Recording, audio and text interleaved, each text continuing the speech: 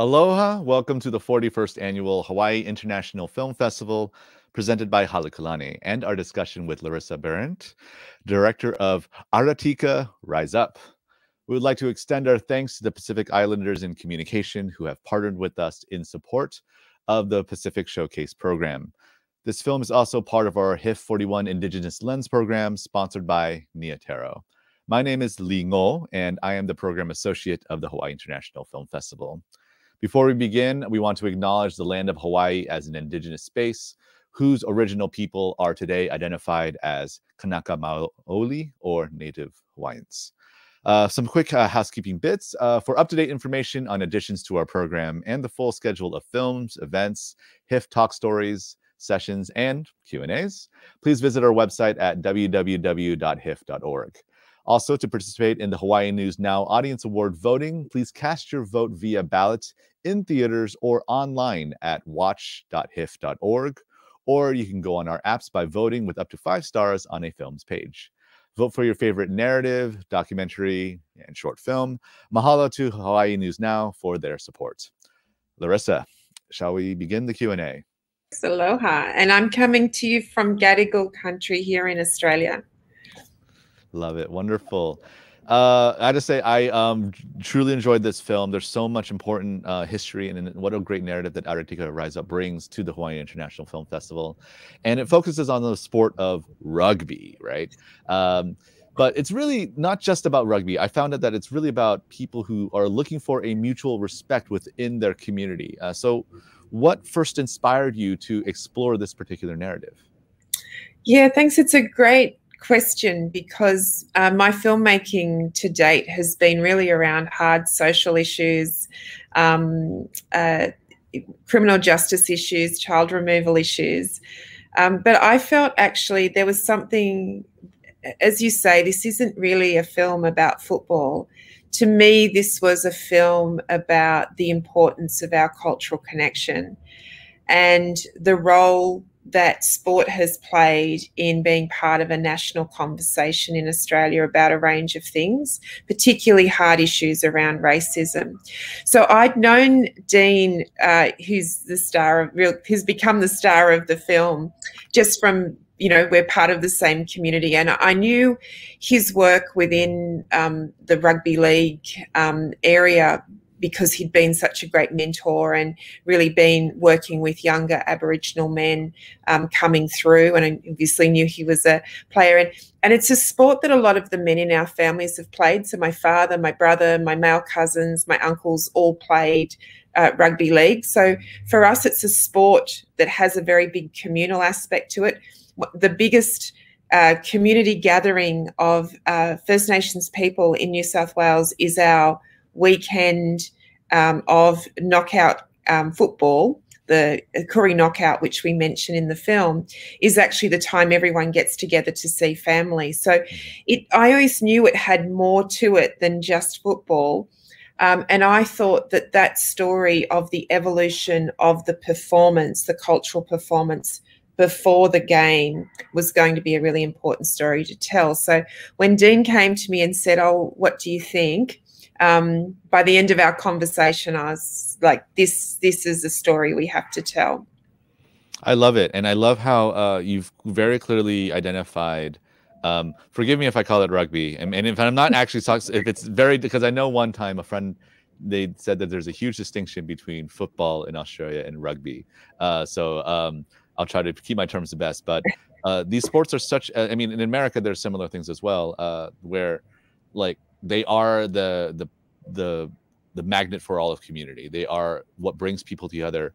But it's not just enough to bring people together. It's important to find dignity and equality within that as well, right? Um, but I also want to talk about uh, you know the process of making this film itself, and it goes very far back into a complicated history for both the sport and for uh, racism in Australia. And and I'm always fascinated when documentarians uh, look into archives and know that mm-hmm. sometimes archives are not as simple as going to it's going down to you know your, your, local library and finding something simple. It's actually a sometimes contentious process. So i'd love to know if you know as you were doing your historical explorations uh, did you encounter any resistance or any challenges to you finding the answers to the questions you had Well, it's such a great question because uh, you've you know you've really identified a real challenge in in the First Nations filmmaking space around around archive and archive use. And there's a lot of protocols that we have as First Nations people about images we can show and not show. Um, I have to say that with this film and with a similar with a film that I did also did recently on the Maralinga people, the experience with the archive was a was a really positive one for this reason.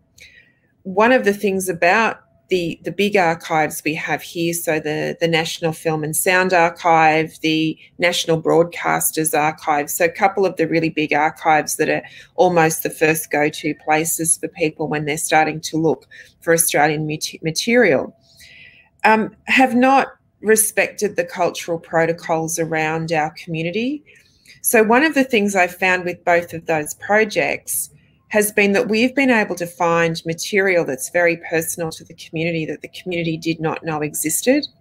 So, it's been a lovely part of the filmmaking process when we're sharing stories. And so, particularly with the Armidale community, um, who are obviously a very central thread to the story, being able to find that archive and then be able to identify with the help of the community people that we're working with who was in that archive to then be able to have that archive labeled in a way that then identifies the people who should be uh, able to give permission to have that archive used.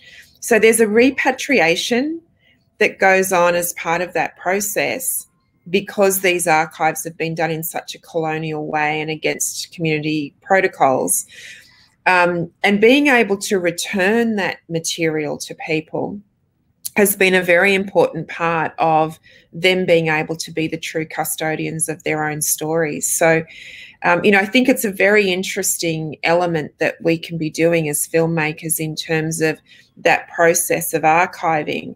So, in, in making these kind of films now, I'm always making sure that when we go into them, we're kind of budgeting to ensure that the archive that we're finding is being converted back to the community in a way that they can keep and control. So there's a you know there, there's a role that we can play when we can get in and find that material. It's often mislabeled or or it's not easy to search. So if you search for say Armidale, you might find something that's very specific to the Anaiwan community, but it is not labeled that way. So mm-hmm. if you went to to look just for that, you wouldn't find it. Wow. Um, wow. I actually wasn't expecting uh, how much of it is not. I, I was expecting something much more uh, direct when it comes to how these things are regulated, but it's, but uh, you know, when it comes to these forms of labeling and and creating these systems of knowledge, uh, it's as if uh, you know we're not going to make it uh, impossible to find, but it's going to be quite difficult, and and it takes a certain level of persistence to do so. Um, wow, really, really complicated. Um, so uh, I want to move on to the question of you know the very subject of your film itself, and it starts off with this question about why, in particular, the Australian national uh, rugby team has seemed inferior when it comes to its uh, inclusion of cultural practices, uh, especially when it comes to the pre, um, I guess, game dances and, and whatnot. Um, now, I guess I'm trying to understand why. Um, why is it? Is this? Why is, was that a particular issue with Australia, and and why other nations seem to have been able to um, bridge that gap much faster? Uh, does it I mean, is it even a false thing to even say? Like, am I probably ignoring the histories of these other teams, and maybe they've gone through something similar? So, no, um, no, it's it's a very insightful question, and it, yeah. it, it's a great question because actually, I think for us, when when Dean and I were looking at the story and how to tell it, there is a certain element there that is about. Uh, you know, and you ask the question, why why is it that Australian teams have been so resistant to um, adopting a Aboriginal cultural um, stance the way that other national teams around the Pacific had done to, to incorporate their own First Nations cultures. There, there is certainly an element of um, there being an entrenched resistance to that. Um, part of it would have been just not as a, a the dominant culture making space for First Nations cultures.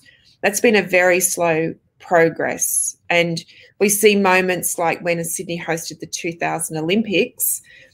Of course, the first thing that comes out when Australia shows itself to the world is ab- an, an Aboriginal dance, Aboriginal dances. So there'd been a sort of sense of knowing that that's what we show to the world, but people didn't have it in their hearts. And, and now I think it's become quite complicated. You have people who don't have it in their hearts, so don't want to do it, they don't respect it.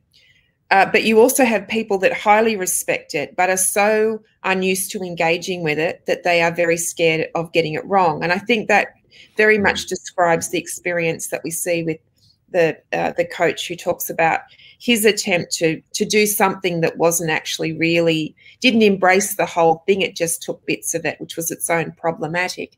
But he came from a place of good but not wanting to offend people and being unsure of that. Um, he's a south sea islander so not first nations to australia and was probably highly sen- sensitive about that.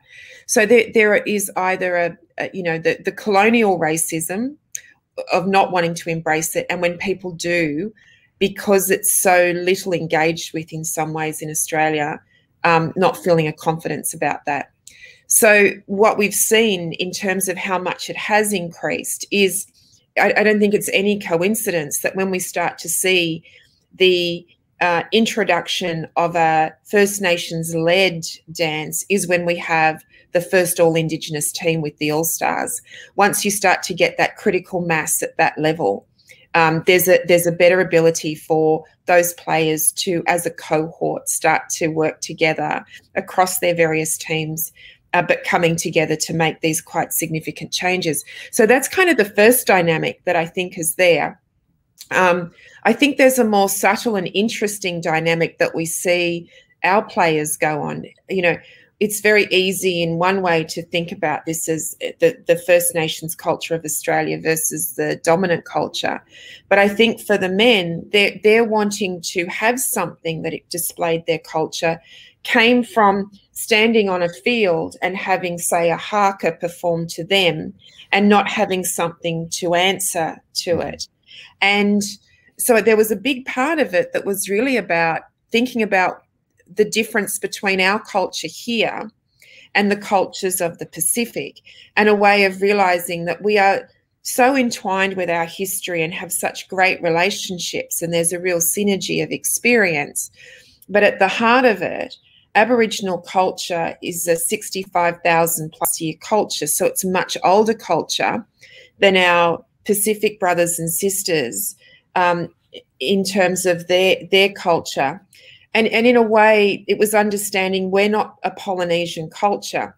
And that was important for us to understand that we had to do something that embraced our culture and was proud of who we are rather than trying to emulate the elements of a polynesian culture. So it wasn't enough. You hear you hear one of the uncles say in his own way don't do the the the, the warrior thing which meant you know the haka because that's not who we are. We hunt quietly.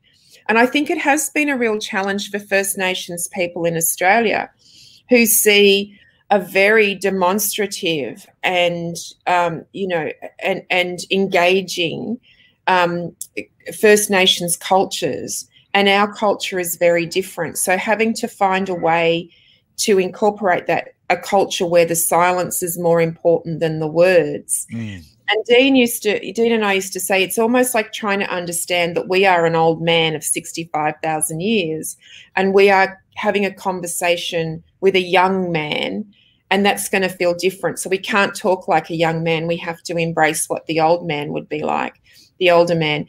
And I think when they did that, there was a, so in a way that the, the, the, the other cultures around the Pacific helped our men understand their own, own culture and embrace it more by having to think really deeply about what how to express that with with faithfulness rather than just meeting what they were what they were seeing on the field and i think at the end of the day it's a beautiful there's a beautiful element of of of it not being we're fighting you but we are meeting you as equals and embracing you. So that bit at the end where they actually embrace the Maori tradition of coming up and hugging the player on the other team as opposed to doing a war dance and then okay we're off to play the the warlike game of team against team. There's a i think a much more first nations value or a first nations approach to saying that actually at the end of our our display of both of our culture it's about us telling you who we are and then us coming together as equals and really respecting and showing love for each other. And now let's get on and play the game. Oh wow! Um, I'm I'm I'm completely I'm blown away by everything you just shared because, uh, you know, it's very difficult. The first instinct that we have when it comes to things around culture, I'd say, it's maybe in the current times, especially, is this is what it should be, right? Um, and and it's an interesting question of even in the beginning is shouldn't every team that's competing in rugby have its own war dance so that it can demonstrate this thing and and I like, I think you've thrown another wrench in the gears and it just makes us think, well, is that even the proper way to represent um, Australia and to and the way that you regard the history?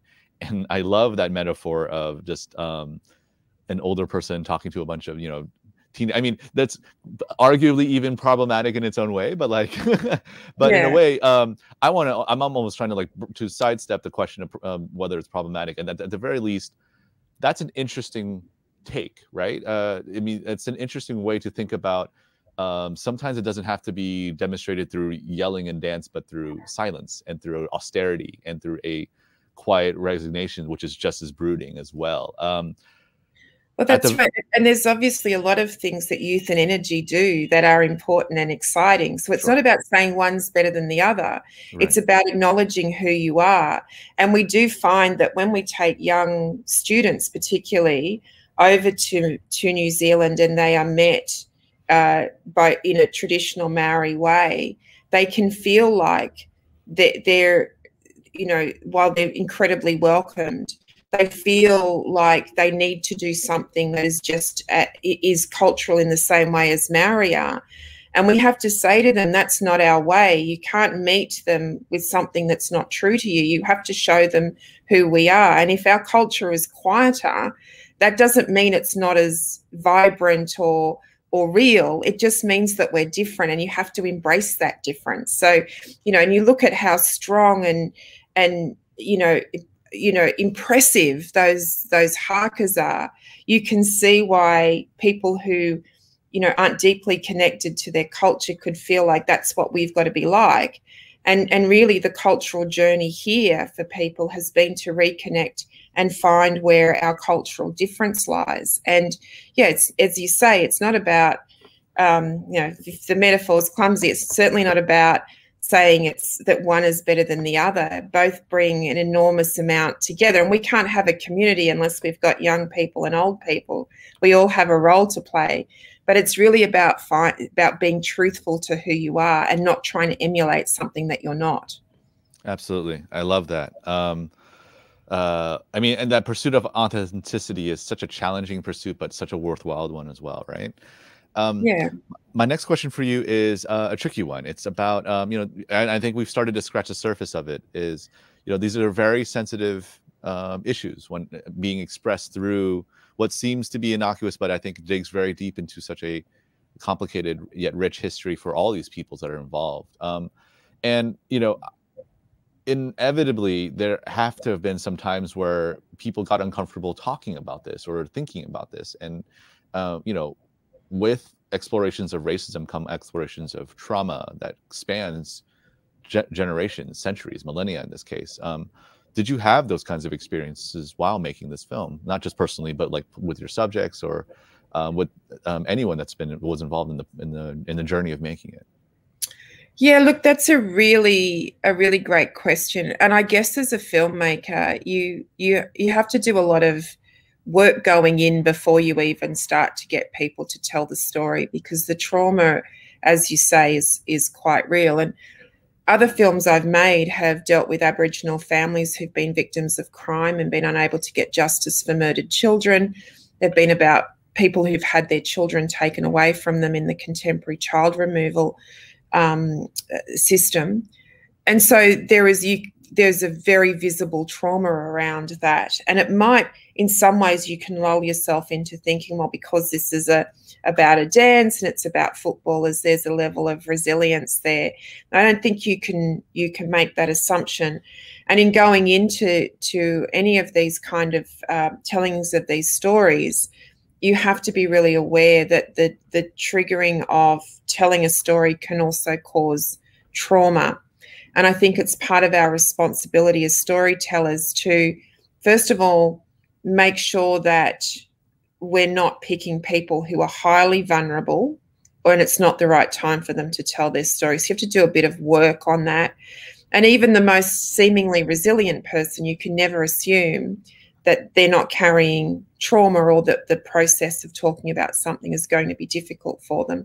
So there's a lot that needs to be done in terms of how you build the trust with them to be able to be really honest and have that continuing care to make sure they're they're happy with how the interview and engagement with the process of making the film has been. But also, you know, I think incredibly importantly, it's one thing to, to, to sit down one on one and tell some tell somebody your story to camera. It's a very different thing when you see yourself on film and other people see you. And it's almost like if you just think that the issues around dealing with the what the impact of the process might be while you're making the film and someone's telling you their story and it might be difficult, you kind of not even helping them deal with the the biggest impact, which is other people hearing that story.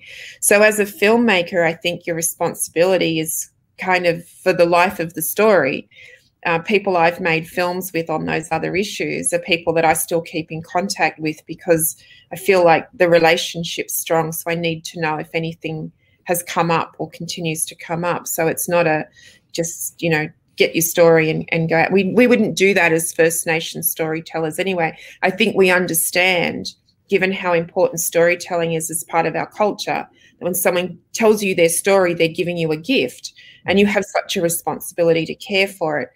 Um, and and look, you know, it can surprise you. I'd surprised Dean when Dean has his conversations with his dad. He said to me later, his dad told him things about his experience as an Aboriginal man in a really racist town that he hadn't shared before. It was very, it was actually very emotional for Dean as much as it was for his father. And and I guess the other thing I'd say is, um, you know, it's important to think about the, the, the framework of trauma and support but it's also important to know that one of the most important things that you can give people who have been disempowered is their voice back and their chance to tell their story their own way. So I think part of ensuring people can manage the trauma and have it as a an empowering and cathartic experience is to work very closely with them to ensure you are telling their story in an authentic way. In some ways, I think that responsibility becomes even more apparent in the edit than when you're just filming with somebody and they're talking to you, when you're making choices about what you're putting in and what you're putting out. I find that that's the point where I really need to be collaborative with that person because I don't want to make a decision about what parts of their story are important or not. And I think that's another thing about First Nations storytelling. When someone tells us our story and we talk about responsibility, it's not enough for us to take the bits of what they've told us and, and mold it into the story we want to tell. We have to listen to what their story is. And as storytellers, make sure that what they've said, when it comes out in an edited version on film is the way they've told it so you have the integrity of their story and that's really where the skill is and the more you can be true to their voice and what they've wanted to share and say then the more i think you are ensuring that the experience is going to be one that's empowering for them and i guess the only other thing i'd add to that is it does really make a difference in terms of who that person is so for example i was recently a producer on a film I'm very proud of called In My Blood It Runs. The main the main character in that story is a 12 year old boy from Alice Springs. And uh, obviously, there was an enormous responsibility in terms of being able to support a young young man um, telling his story and having that go to the world. Um, and so there, you know, that that was something where we worked really closely with him and the family, and we continue to manage to this day to ensure that he continues to feel that has been an empowering process for him. It was a vehicle for him to go and actually be the youngest person to present at one of the forums at the UN. So it's been a wonderful thing for him, but that just didn't happen because the film was there. It happened because we really seriously thought about how do we put, um, you know, the arms around him uh, as a subject of a documentary once his story goes out into the world. Mm-hmm. I, I, I think it's wonderful how deeply ethically you think about your work and uh, and that I think there was a moment you mentioned that uh, you're more concerned about the relationship with the subject than whatever um, question or maybe uh, uh, like something that might be good in the film is not nearly as important as that. And especially, I mean, yeah, given the subject matter itself, that is truly fitting to say the least. Uh, that you know, uh, I mean, it, it seems like it's surrounded by things like sports and entertainment. Um, but underneath that are such deeper layers that really ask a lot about our own humanity. Um, Larissa, my last question for you. Um, almost to the end, amazingly. Oh. uh, what? Uh, so you know, right now, I want to just kind of take it back and think broadly about uh, what is next for this community um, as they continue to fight for equality and dignity and respect um, on their field and beyond. Uh, you know, your film makes a great case for uh, the the work that they've done so far. But what what do you see um, happening next for them? Well, I think very much that they're looking at using this as a um, as a springboard to uh, further push the embrace of of this as a as a, a recognized cultural ceremony. Um, you know, I think one of the interesting things about the the journey that Dean went on with this um, is that when we first started making the film, the main goal was to get the Australian team to do this dance. That was his goal. And then COVID hit. There's no football. There's no there's no test. um, and it was a it was the moment where I think the film actually went from being a, a, a, nice account of of a slice of our culture to something really profound when you saw people like Dean who defined themselves by football, you know, you'd say to him, Why do you want to do this dance? Why is it so important? Because football's given me everything I want to give back to football. Football, football, football. When the pandemic hit, Dean lost not only his job with the NRL, with the National Rugby League, he lost two sports commentating jobs and two coaching jobs. So his whole world in, in a week just went. And through that time, obviously, he speaks about this in the film. He came through that and realized that actually it was never football that made him strong, but his culture. And, and, and what I love about him, and particularly when we talk about why, why are young people such an important part of the community, you know, what, why is it, you know, why is it not a negative to say somebody's the young culture? He, I could see this new generation of players coming through, like Cody Walker and Latrell, who were so comfortable with their identity and was so outspoken about standing up to racism in a way that Dean in his generation would never dared to have done. I could see how his interaction with those young players, such great role models, really good men, changed Dean. And so by the end of the film, he he stops begging people to do his dance. He no longer saw that what he needed to do was to keep asking, please do the dance at the test. He's he took it in a completely different direction with the confidence of doing it in his own space and knowing others would just follow because of the strength of of the leadership of the men who were doing it. And I thought that was a very significant thing. So when you ask me about where to from here? I'm not sure that's an easy answer. I think what Dean would say is, you know, now we want to keep going and making the dance roll out.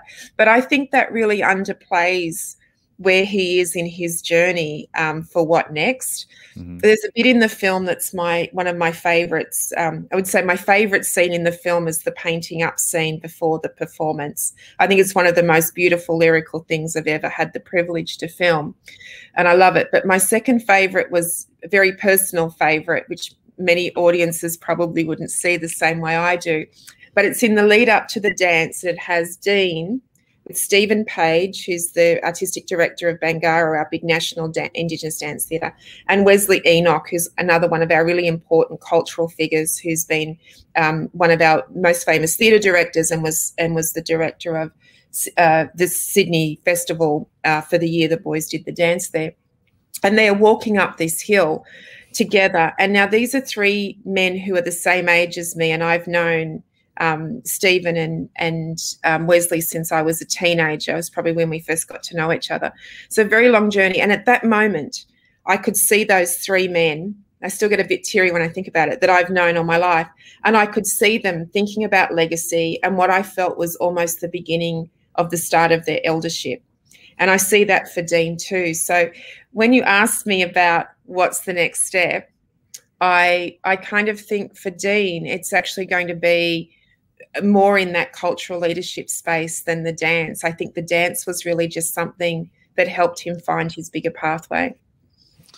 Um, th- I think that's a beautiful way to really summarize a lot of what we've discussed today. And uh, you know, it's it's difficult when so much of people's identities are caught up in things like sports and entertainment, even though the shelf life for people to participate is relatively short. Um, and many people ask, "What's next?" Uh, I think you summarize it best where uh, it's not you know being the athlete uh, that is part of their strength, but it, it's their community, it's their culture, and that's the thing that has that lasts beyond people's lifespans. Um, and I find that in that way alone, that's why the subject matter of what your film is is so important because uh, it really isn't about you know who wins or loses or who's the, the best athlete out there. It's about the way in which we conduct ourselves respectfully, right? Um, so that I think is just lovely and beautiful. Um, Larissa, that's the end of our Q and A. Thank you so oh, much for taking the so time. I enjoyed our chat. Thank you. I, I thoroughly enjoyed this as well, and um, I want to thank you. I want to thank your team. I also want to thank everybody who's been who actually took the time to watch this.